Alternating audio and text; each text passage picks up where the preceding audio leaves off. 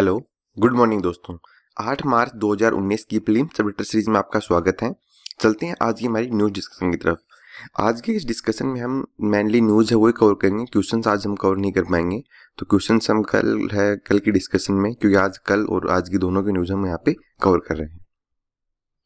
पहला जो हमारा आर्टिकल आया है, वो आया है टीएमए स्कीम यानी कि transport and marketing assistance scheme है किस लिए स्कीम इसके बारे में हम जानते हैं। देखो, हमारे देश के अंदर क्या है कि सब्जियों वगैरह एक जैसे दूसरी जगह भेजी जाती हैं या फिर इंडिया इंपोर्ट करे कोई चीज़ या कोई चीज़ एक्सपोर्ट करनी हो वेजिटेबल के मामले में तो वो काफ़ी महँगी जाती है। क्यों? क्योंकि हमारे देश में ट्रांसपोर्ट ट्रांसपोर्ट की जो कॉस्ट है, फिर हम बोले लॉजिस्टिक जो कॉस्ट है, वो काफ़ी ज़्यादा है कंपेयर टू करें हम अदर कंट्रीज़ को। इसीलिए क्या है गवर्नमेंट ने भी डिसाइड किया है, जो कि कॉमर्स मिनिस्ट्री के अंदर एक डिपार्टमेंट जिसका नाम है डिपार्टमेंट ऑफ़ कॉमर्स और उसी ने इस, उसका फोकस ये रखा गया है कि हमारे देश के अंदर जो एग्रीकल्चर प्रोड्यूस है एग्रीकल्चर के जो प्रोडक्ट हैं, इनको बेसिकली इंटरनेशनल लेवल पे चाहे ट्रांसपोर्ट करना हो, चाहे इंडिया के लेवल पे करना हो, एक स्मूथ तरीके से ट्रांसपोर्ट हो सके, ज़्यादा कॉस्ट भी नहीं हो चाहिए टाइम टू टाइम ट्रांसपोर्ट वो किए जा सके मतलब डिले भी नहीं होना चाहिए, ताकि चीज़ें खराब हो। इसके लिए स्कीम है, वो लगी है मतलब स्पेशली जो एग्रीकल्चर प्रोडक्ट हैं, इनके ट्रांसपोर्ट के लिए स्कीम है, वो आई है। अब देखो, बात क्या जैसे मैंने आपको बताया था कि अगर ट्रांसपोर्ट सेक्टर की हायर कॉस्ट होती है तो सब्ज़ियाँ वगैरह जो हैं वेजिटेबल जो आइटम्स हैं, वो काफ़ी महँगे बिकते हैं। इसके साथ ही अगर हम बात करें तो जो गरीब आदमी है फिर आम जनता है, वो उनको अफोर्ड नहीं कर पाती है। तो जो ट्रांसपोर्ट कॉस्ट है, उसको कम करने के लिए ही ये transport and marketing assistant scheme है, वो गवर्नमेंट के द्वारा लगी है। और इसी के साथ ये गवर्नमेंट की जो फॉरेन ट्रेड पॉलिसी थी 2015 से 20 उसी में एक अहम रोल भी अपना निभाएगी। तो ये थी transport and marketing assistant scheme next जो हमारा आर्टिकल है, वो है अल नगा है एक्साइज को लेके।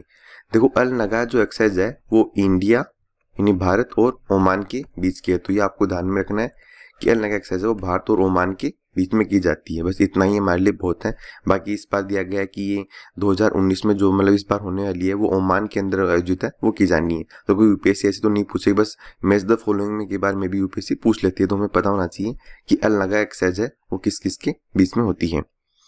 नेक्स्ट जो आर्टिकल है, काफ़ी इंपॉर्टेंट आर्टिकल है, ये है वर्ल्ड एयर क्वालिटी रिपोर्ट 2018 कि भाई 2018 में एयर की क्वालिटी कैसी रही है वर्ल्ड की टॉप सिटीज़ की।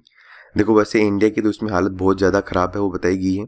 सबसे पहली बात तो है कि किसके द्वारा यह जारी किया जाता है? यह जारी किया जाता है I Q air and air visual और इसी के साथ ही ग्रीन पीस तो दो इंस्टीट्यूट है, इनके द्वारा यह इंडेक्स है, वो जारी किया जाता है। अब आप देखो, इधर साइड में देखिए। वर्ल्ड की जो टॉप टेन पोल्यूटेड सिटी है ना, इसमें तो आप सारी इंडिया आपको ऑलमोस्ट इंडिया की दिखने होंगी। इनमें से सात सिटी हैं, वो इंडिया की हैं। तो ये आपके लिए काफ़ी आश्चर्यजनक बात है। अब देखो यहाँ पे सबसे जो इंडिया की टॉप पोल्यूटेड सिटी की बात करें तो वो आ रही है नंबर वन पे गुड़गांव है। इसके बाद में गाजियाबाद है, फिर तीसरे नंबर पे देखा जाए तो ओलो रोड में तो पाकिस्तान की सिटी आ रही है। और इसके बाद में इंडिया की फरीदाबाद आ रहा है, भिवाड़ी आ रही है, नोएडा आ रहा है, पटना आ रहा है, लखनऊ आ रहा है। तो इंडिया की जो मेन मेन सिटी हैं, वो तो टॉप पोल्यूशन में पोल्यूशन फैलाने में आ चुकी हैं। अब इम्पोर्टेंट फैक्ट है कि किस आधार पे पोल्यूशन को काउंट है, वो करता है। देखो जो पर्टिकुलर मैटर 2.5 होता है ना उसकी संख्या के आधार पे ही बेसिकली ये पोल्यूशन को काउंट है, वो कहता था कि भाई P M two point five है, उसकी डेंसिटी कैसी है, कितने अभी वो एयर में फैली हुई है, उसके बेसिस पे इंडेक्स है, वो जारी किया जाता है। तो यूपीएससी पूछ सकती है कि सी के बेसिस पे एयर क्वालिटी इंडेक्स है, जो जो एयर क्वालिटी एयर रिपोर्ट है, वो जारी की जाती है, या फिर अमोनिया के बेसिस पे जारी की जाती है, या फिर एनओ टू वगैरह तो नहीं, ऐसा कुछ नहीं है। P M two point five के बेसिस पे ही बेसिकली ये रिकॉर्ड है, वो तैयार किया जाता है। अब देखो कुछ और फैक्ट हम यहाँ पे देखते हैं। जैसे कि इस रिपोर्ट में लगभग तीन हज़ार सीटियों को सर्वे है, वो किया गया है। और क्या सामने आया कि चौसठ परसेंट तो सिटी ऐसी हैं जिनमें डब्ल्यू एच ओ का जो गाइडलाइन है हेड जो डब्ल्यू एच ओ की जो स्टैंडर्ड है कि भाई जो एयर क्वालिटी है, वो बेसिकली जैसे डब्ल्यू एच ओ के स्टैंडर्ड ये हैं कि P M two point five की जो मात्रा है ना एयर में, वो एक एयर क्यूब एक मीटर क्यूब मतलब एक मीटर क्यूब वाला जो एरिया है, उसमें दस माइक्रोग्राम से ज़्यादा नहीं होनी चाहिए। जबकि जो सारी सिटी हैं सिक्सटी फोर परसेंट जो सिटी हैं, उनमें तो दस परसेंट से भी क्या बहुत ज़्यादा जा रहा है मतलब सौ से भी ज़्यादा एक तरीके से सौ माइक्रोग्राम से भी ज़्यादा फैला हुआ है। ये देखो इसमें सामने लिखा हुआ क्लियर इसके साथ ही आया कि साउथ एशिया की हालत तो और भी ज़्यादा खराब है। कि साउथ एशिया में तो 99 परसेंट जो सिटीज़ है ना, वो डब्ल्यू एच ओ के सेफ़ स्टैंडर्ड को काफ़ी पीछे छोड़ चुकी हैं। मतलब 99 परसेंट सिटी हैं, वो डब्ल्यू एच ओ के स्टैंडर्ड्स को छोड़ के बहुत आगे जा चुकी हैं। जैसा मैंने आपको बताया कि इंडिया की बात करें तो सात सीटें हैं पोल्यूशन के मामले में टॉप टेन के अंतर्गत। चाइना की एक है पाकिस्तान की दो हैं। इंडिया का जो गुड़गांव है, वो नंबर वन में पूरा है पोल्यूशन के मामले में। इसके बाद में गाजियाबाद रहा है, इसके बाद में फरीदाबाद, नोएडा, भिवाड़ी वगैरह वगैरह। एक चीज़ यहाँ पे आपको ध्यान रखना है, अगर हम बात करें कैपिटल के मामले में कि वर्ल्ड की सबसे टॉप पॉल्यूटेड कैपिटल कौन सी है तो वो रही है इस बार दिल्ली। ये आपको ध्यान में रखना है कि दिल्ली की अगर कैपिटल की बात करें ऑल ओवर वर्ल्ड में तो नंबर वन पे इंडिया की कैपिटल न्यू दिल्ली है, वो टॉप पोल्यूशन में रही है। इसके साथ ही ये दिया गया कि टॉप तीस जो पोल्यूटेड सिटीज़ हैं, उसमें से बाईस सिटीज़ तो अकेले इंडिया की ही हैं, बाकी पाँच चाइना की हैं, दो पाकिस्तान की हैं और एक बांग्लादेश की। तो देखो, ऐसा सारा फैक्ट तो आपको याद नहीं होगा बट कुछ कुछ जो फैक्ट्स हैं, वो कहीं ना कहीं हम यूज़ है, वो कर सकते हैं। इसके बाद में से मैंने आपको यहाँ पे बताया था कि ढाका, जो बांग्लादेश की कैपिटल है ढाका, वो सेकंड नंबर की मोस्ट पोल्यूटेड कैपिटल रही है और थर्ड नंबर पे रही है काबुल। देखो, चाइना की हालत थी 2013 में, वो इंडिया की ज़रिए कुछ ज़्यादा खराब थी उस टाइम पे। चाइना की 2013 में हालत ये थी कि वहाँ पे पोल्यूशन चाइना की टॉप सारी सिटीज़ उसी में आई थी पोल्यूटेड में। बट उसके बाद चाइना ने काफ़ी सारे अच्छे स्टेप उठाए और अगर आज देखा जाए तो आज 2013 की कंपेरिजन में चाइना ने 40 परसेंट जो सॉरी पोल्यूशन है लेवल उसको कम कर दिया है। पहले देखा जाए तो वर्ल्ड की जो बीजिंग सबसे पोल्यूटेड सिटी आती थी चाइना की। बट आज के टाइम पे बीजिंग है, वो एक नंबर पे है। अगर पोल्यूशन के मामले में बात करें, क्यों? क्योंकि चाइना ने काफ़ी सारे स्टेप उठाए हैं। तो देखो, अभी यह सही समय आ गया है कि हमें भी पोल्यूशन को लेकर अवेयर होना चाहिए और गवर्नमेंट को और जनता को इस दिशा में कड़े से कड़े कदम है वो उठाने चाहिए। इसके साथ ही हम देखते हैं नेक्स्ट आर्टिकल हाँ नेक्स्ट जो हमारा आर्टिकल है वो है U N O D C इनकी United Nation office of drugs and crimes है क्या? देखो, बात ऐसी कि यूनाइट मतलब इस चीज़ से आपको एक चीज़ तो क्लियर हो गई कि भाई यूएन के साथ ही संस्था यूएन के अंदर ही है। बिल्कुल है। 1997 में क्या हुआ था कि यूनाइटेड नेशन जो इंटरनेशनल ड्रग्स कंट्रोल प्रोग्राम था ना, वो और इसी के साथ ही यूनाइटेड नेशन का एक और डिवीज़न थी, जिसका नाम था crime prevention and crime justice, sorry, criminal justice division. इन दोनों ही डिवीज़न ने मिलकर यानी कि यूएन डीपीसी, डीसीपी और इसी के साथ ही यूएन, सीपी सीजेडी इन दोनों ने मिलकर basically United Nation office on drugs and crime का निर्माण है, वो किया था। क्यों? क्योंकि देखो ऑल ओवर वर्ल्ड में जो ड्रग्स के जो क्राइम होते हैं मेनली एफीम वगैरह की अगर हम बात करें, वो लगातार बढ़ते जा रहे थे। स्मगलिंग वगैरह तो उन सबको मॉनिटर करने के लिए ही बेसिकली स्टार्ट है, वो किया गया था। और इस स्टार्टिंग में जो इसका नाम था यूएनओडीसी का, वो था office for drug control and crime prevention. But 2002 में इसका नाम चेंज करके यूएनओडीसी है वो कर दिया। हेडक्वार्टर इसका वियना ऑस्ट्रिया में है। इंपॉर्टेंट बात क्या है, इसके द्वारा वर्ल्ड ड्रग रिपोर्ट है, वो जारी की जाती है। तो ये रिपोर्ट आपको ध्यान में रखनी है यूएनओडीसी के द्वारा जारी है, वो की जाती है। अब हम देखते हैं न्यूज़ में क्यों आया। न्यूज़ में इसलिए आया है कि इसने जो यूएनओडीसी है ना, इसने भी ये कहा है कि भाई साउथ इंडिया की अगर हम बात करें तो इंडिया के रास्ते से काफ़ी ज़्यादा स्मगलिंग है, वो हो रही है अफीम की। ये बेसिकली कंटेक्ट आपको मोटा मोटा मैंने बता दिया कि इंडिया है, वो इनडायरेक्टली एक तरीके से हब सा बनता हुआ जा रहा है। अब देखो, आपने दो वर्ड न्यूज़पेपर में काफ़ी सुने होंगे। एक तो सुना होगा आपने गोल्डन क्रिसेंट और एक सुना होगा आपने गोल्डन ट्रायंगल है क्या है देखो, वो ये, वो एरिया है जहाँ पे अफीम की बहुत भारी मात्रा में खेती है, हम एक तरह से बोलते हैं कि स्मगलिंग वगैरह की जाती है। जैसे गोल्डन क्रिसेंट की बात करें तो इसमें तीन सिटी आती हैं ईरान अफ़गानिस्तान और पाकिस्तान ये चाँद के दिखते हैं, इसलिए इनको गोल्डन क्रिसेंट के नाम से जाना जाता है।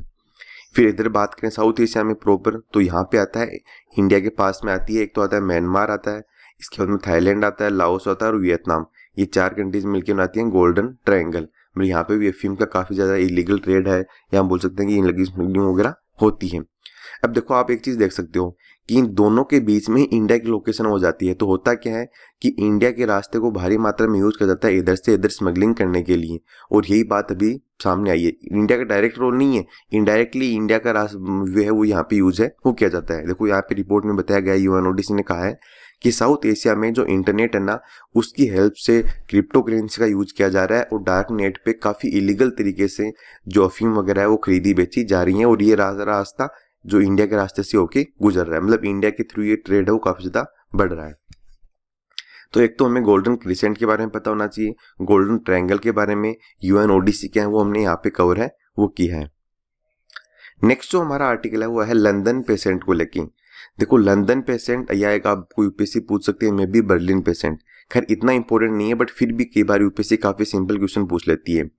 अभी लंदन का एक पर्सन था, जिसका एच का ट्रीटमेंट है, वो किया गया है? तरीके से उसका जो बोन मेरू है, वो ट्रांसप्लांट की गई है। तो ये टेक्निक है, ये आपको ध्यान में रखनी है कि C C R five delta thirty two technique ये actually H I V AIDS के मतलब हम बोल सकते हैं कि ट्रीटमेंट के लिए तो अभी ये ट्रीटमेंट है, या ये मेथड यूज़ किया गया है H D C C R delta thirty two technique और इसकी हेल्प से जो लंदन में पेशेंट था एच आई वी का, उसको भी ठीक है वो किया गया तो उस पेशेंट का नाम रखा गया है यहाँ पे लंदन पेशेंट।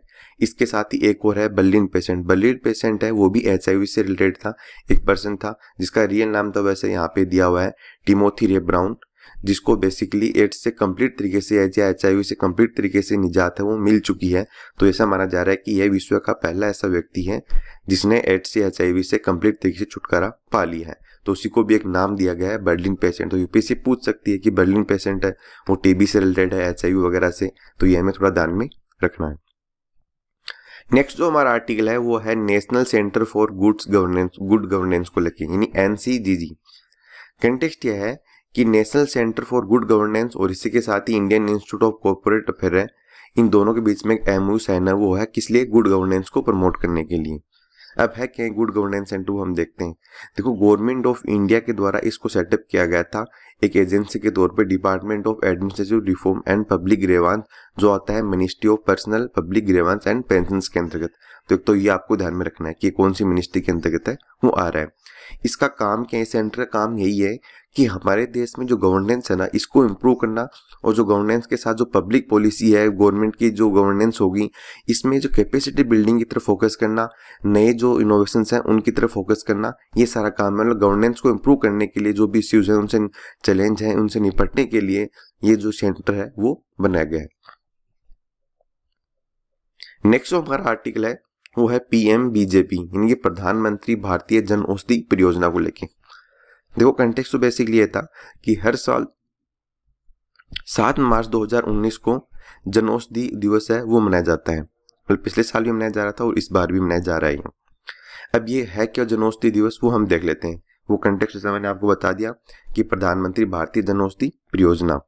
ये देखो, एक कैंपेन है जो कि department of pharmaceutical government of India के द्वारा स्टार्टिंग वो किया गया था। इसका मेन मोटो ये है कि हमारे देश में जो गरीब लोग हैं या फिर आम जनता है, उनको अफोर्डेबल रेट पे, सस्ती रेट पे अच्छी मेडिसिन है, वो मिल सकें। कहाँ पे? इसके लिए गवर्नमेंट के जगह जगह स्टोर है जिनका नाम है जनौषधि केंद्र तो भारत में जगह जगह गवर्नमेंट ने जनौषधि केंद्र खोल रखे हैं। अभी जनौषधि केंद्र ना, इन्हीं औषधि केंद्र पे गवर्नमेंट है, वो सस्ती रेट में अफोर्डेबल और अच्छी जो मेडिसिन है, वो प्रोवाइड करवाएगी, ताकि हेल्थ सेक्टर को और ज़्यादा इंप्रूव है, वो किया जा सके। इसके साथ ही यहाँ पे एक वर्ड है जेनरिक मेडिसिन देखो, आप जेनरिक मेडिसिन को ऐसे याद कर सकते हो जेनरिक मतलब जेन्यून मेडिसिन मतलब मेडिसिन वही, देखो मार्केट में होता क्या है, एक ही सोल्ट होता है, उसी से नॉर्मली मेडिसिन है, वो बनती हैं। मतलब ये मान लो कि जैसे कि क्रोसिन टेबलेट है, वो किसी, मान लो कि एक्स वाई जेड साल्ट से बनी है, अब बाकी अगर सिरदर्द की टेबलेट है, वो भी ओबियसली सेम ही साल्ट से बनेगी ऐसे। होता क्या है कि जो बड़ी बड़ी कंपनियाँ होती है ना, ये प्रचार प्रसार के लिए और कहीं ना कहीं मतलब दूसरे एक दो सोल्ट को थोड़ा डिफ एड वगैरह कर देती हैं और फिर इनकी जो कॉस्ट है ना, वो बहुत बढ़ा देती हैं। जबकि फॉर्मूला होता है वो बेसिक सही तो जो बेसिक फॉर्मूला यूज़ करके जो मेडिसिन बनाई जाती हैं, वो तो होती है जेनरिक मेडिसिन मतलब उनमें क्या कि ज़्यादा एक तरीके से एडिटिंग वगैरह नहीं होती नॉर्मल सीधी सी बात है तो वो सस्ती रहती हैं. बाकी अगर कंपनियाँ उसमें थोड़ा बहुत इधर उधर उठपटांग कर रही हैं, उसमें कुछ ऐड कर रही हैं, अपनी मार्केटिंग के लिए वो पैकिंग बढ़ा देती हैं, थोड़ी ये वगैरह वगैरह कुछ डिज़ाइन कर देती हैं तो वो मेडिसिन काफ़ी महँगी मिलती हैं. तो गवर्नमेंट फोकस करती है हमेशा कि जेनरिक यानी कि जो जेन्यून मेडिसिन है वही लोगों को मिले, ये सस्ती भी होती हैं और इफ़ेक्टिव भी काफ़ी अच्छी होती हैं. तो इसके लिए गवर्नमेंट के द्वारा भारतीय जनौषधि सेंटर जगह जगह केंद्र खोले गए और वहीं पे जनौषधि परियोजना के थ्रू स्टेप है, वो उठाया गया है। नेक्स्ट जो आर्टिकल है, वो है national rural economic transformation project ये आपको ध्यान में रखना है कि नेशनल रूरल इकोनॉमिक ट्रांसफॉर्मेशन जो प्रोजेक्ट है, ये वर्ल्ड बैंक के सानिध्य में किया जा रहा है। मतलब इसमें वर्ल्ड बैंक है, वो अपनी हेल्प है सपोर्ट है, वो दे रहे हैं। देखो गवर्नमेंट ने रूरल एरिया के डेवलपमेंट के लिए national rural livelihood project start किया था। अब ये बेसिकली जो मिशन था, ये ये जो प्रोजेक्ट था लाइवहुड मिशन लाइवहुड प्रोजेक्ट यानी एन आर एल पी ये 500 मिलियन डॉलर का मिशन था। इसमें जो 250 मिलियन मतलब जो आधे जो पैसे हैं, वो तो दिए जा रहे हैं यहाँ पे वर्ल्ड बैंक के द्वारा, और बाकी जो पैसे हैं वो देगी गवर्नमेंट तो ये आपको ध्यान में रखना है कि national rural economic transport mission जो प्रोजेक्ट है, वो वर्ल्ड बैंक के द्वारा किया जा रहा है, ना कि एशियन डेवलपमेंट या ए आई बी यूपीएससी कैसे भी ऑप्शन हमें दे सकती हैं। इसका काम क्या है? देखो, इसका काम ये इस प्रोजेक्ट के थ्रू कि हमारे देश में जो रूरल एरिया है कि जो इकोनॉमी है, चाहे उसमें मैन हो या वुमेन हो, उनको एम्पावर करना, उनको में अंदर इकोनॉमिक रिसोर्सेज जनरेट करना, चाहे आप, अब देखो, यहाँ पे वुमेन एम्पावरमेंट भी यूज़ कर सकते हो, क्योंकि रूरल एरिया के अंदर मैन वुमेन दोनों आ जाती हैं। तो वुमेन का भी डेवलपमेंट करना है मैन का भी करना है। अब हाउस होल्ड के थ्रू भी कर सकते हो या फिर उनको कुछ इकोनॉमिक रिसोर्सेज प्रोवाइड करवा के भी मतलब कोई भी मेथड ऐसा हो सकता है जिसकी हेल्प से उनकी इकोनॉमिक ट्रांसफॉर्मेशन है वो की जा सके। नेक्स्ट एक छोटा सा आर्टिकल है बट काफ़ी इंपॉर्टेंट है, वो है बोलो एप्लीकेशन को लेके। देखो, जो बोलो एप्लीकेशन है, ये गूगल का एक एप्लीकेशन है। गूगल ने अभी इसको लॉन्च किया है। इसका मोटो ये है कि हमारे देश के अंदर की जो प्राइमरी और जो हम बात करें यहाँ पे प्राइमरी क्लास के जो बच्चे हैं, उनको हिंदी और इंग्लिश लैंग्वेज है वो इजीली सीखे जा सके। इसमें होगा क्या? इसमें टेक्स्ट टू स्पीच का ऑप्शन होगा और स्पीच टू टेक्स्ट का भी ऑप्शन है, वो होगा। तो बच्चे आराम से कहानियाँ वगैरह वो सब यहाँ पे सुन सकते हैं। आपस में जो भी उनको कुछ इश्यूज़ वगैरह हो तो वो हिंदी से इंग्लिश इंग्लिश से हिंदी वगैरह सीख सकते हैं। तो उसके लिए एप्लीकेशन है, वो स्टार्ट किया गया है। तो ये आपको ध्यान में रखना है बोलो एप्लीकेशन है वो, किसका है? गूगल का है। तो देखो, ये थी आज की हमारी डिस्कशन फिर भी एक दो दो न्यूज़ है, वो रह गई हैं तो उनको हम कल की डिस्कशन में कवर कर लेंगे। तो फ़िलहाल इतना ही तो thank you thank you very much for discussion